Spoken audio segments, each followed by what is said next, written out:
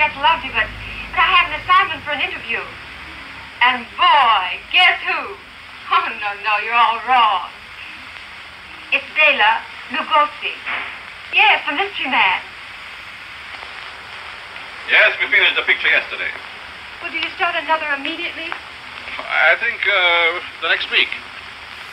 You're Hungarian, aren't you, Mr. Lugosi? Yes, I am. What I mean, I'm Hungarian by birth. I'm an American now. Well, why did you leave Hungary? Political reasons. After the war, I participated in the revolution, and later, I found myself on the wrong side. Oh, that's very unfortunate. What are you studying now? I'm studying now American slang. I know how to say okay and cat's whiskers and baloney and and how. Come on, let's sit down. Okay. Yes, and I can't change the water because all the fish die. I feed it myself every morning. Oh, you do? Oh, plenty warm today. But you did become a citizen, didn't you, Doc? Oh, some time ago, I, and I'm very glad and happy about it. I can stay here for good. It's very nice to live in a country where people know how to mind their own business. And there's something else. It's wonderful how how the American people display their sportsmanship. Uh, Mr. Lugosi, did you play uh, any mystery parts in Europe? No, I I didn't. By accident, I didn't. Well, what type of roles did you play? Oh, different kind of roles, character, dramatic, romantic, all kinds. Well, have you ever been interested in anything outside of your profession? Oh, yes, very much. I like to, to model, to sculpture. My spare time, I like to put my surplus energy into molding the clay and Do you believe in vampires? yes. Three of them I married. Well, what was your first mystery play? It was Dracula, Or did the role depress you? very much. It haunted me. I often dreamed of the dead.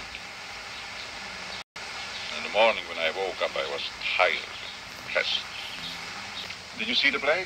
No, I didn't. I'm awfully sorry. But what kind of uh, makeup did you use? Well, I can show it to you on a picture I promised you. Oh, I'd love to see it.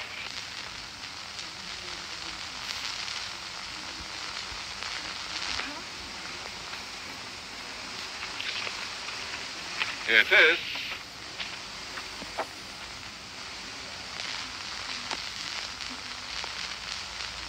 Oh, how frightfully weird.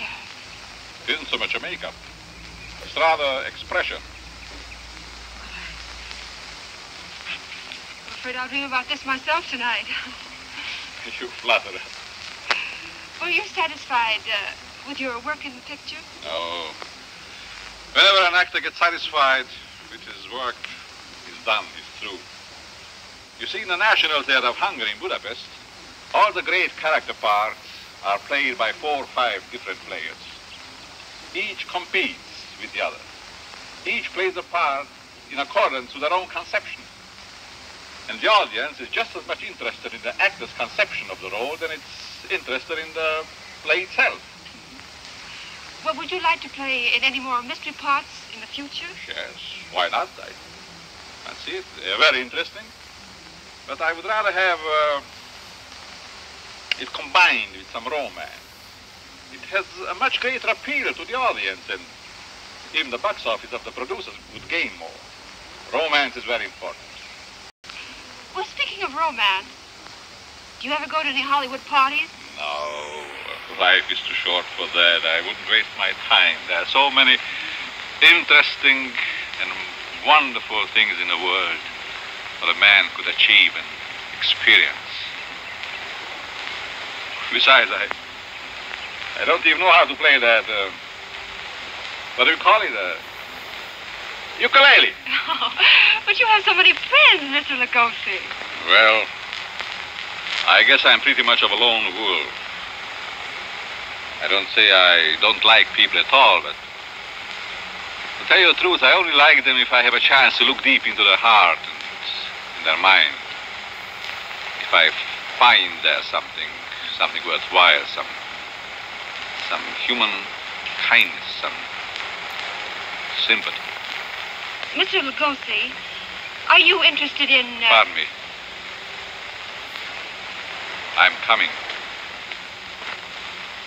Why? I didn't hear anyone calling.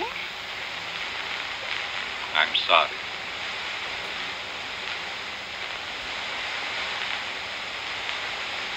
Oh, yes. Oh, yes, I. I, I understand. fica